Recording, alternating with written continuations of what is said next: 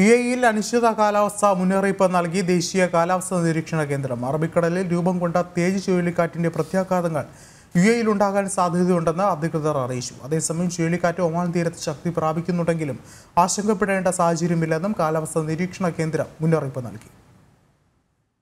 അറബിക്കടലിൽ രൂപം കൊണ്ട ഉഷ്ണമേഖലാ കൊടുങ്കാറ്റായ തേജ് ചുഴലിക്കാറ്റിന്റെ പ്രത്യാഘാതങ്ങൾ യു എയിൽ അനുഭവപ്പെടുമെന്ന് കാലാവസ്ഥാ നിരീക്ഷണ കേന്ദ്രം നേരത്തെ അറിയിച്ചിരുന്നു. നിലവിൽ കാറ്റഗറി രണ്ട് ചുഴലിക്കാറ്റാണെങ്കിലും അടുത്ത ഇരുപത്തിനാല് മണിക്കൂറിനുള്ളിൽ ഇത് കാറ്റഗറി മൂന്നായി മാറുമെന്ന് അധികൃതർ മുന്നറിയിപ്പ് നൽകി. അതിനിടെ യു എയുടെ വിവിധ ഭാഗങ്ങളിൽ ഇന്ന് ശക്തമായ മഴയാണ് അനുഭവപ്പെട്ടത്. റാസൽ ഖൈമ ഫുജേര എന്നിവിടങ്ങളിലെ ചില ഭാഗങ്ങളിൽ അതോറിറ്റി ഓറഞ്ച് യെല്ലോ അലർട്ടുകൾ പ്രഖ്യാപിച്ചിരുന്നു.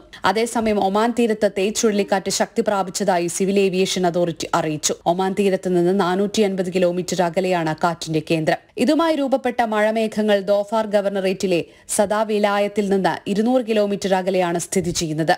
പടിഞ്ഞാറ് വടക്കു പടിഞ്ഞാറ് ദിശയിൽ ദോഫാർ ഗവർണറേറ്റിന്റെയും യമനിലെ അൽമഹ്റ ഗവർണറേറ്റിന്റെയും തീരങ്ങളിലേക്ക് ചുഴലിക്കാറ്റ് നീങ്ങുന്നത് തുടരുകയാണെന്ന് മുന്നറിയിപ്പിൽ പറയുന്നു. ഈ മേഖലയിൽ തുടരുന്ന കനത്ത മഴയെ തുടർന്ന് നാളെയും മറ്റന്നാളും ഇവിടെ പൊതു അവധി പ്രഖ്യാപിച്ചിട്ടുണ്ട്. തീരപ്രദേശങ്ങളിൽ താമസിക്കുന്ന ആളുകൾ അഭയകേന്ദ്രങ്ങളിലേക്ക് നീങ്ങണമെന്നും അധികൃതർ അറിയിച്ചു. ദോഫാറിലുടനീളം എമർജൻസി ഷെൽട്ടറുകൾ സജീവമാക്കിയതായും അടിയന്തര ആവശ്യങ്ങൾക്കായി relief and shelter sector operation സെന്ററുമായി ബന്ധപ്പെടണമെന്നും അധികൃതർ അറിയിച്ചു.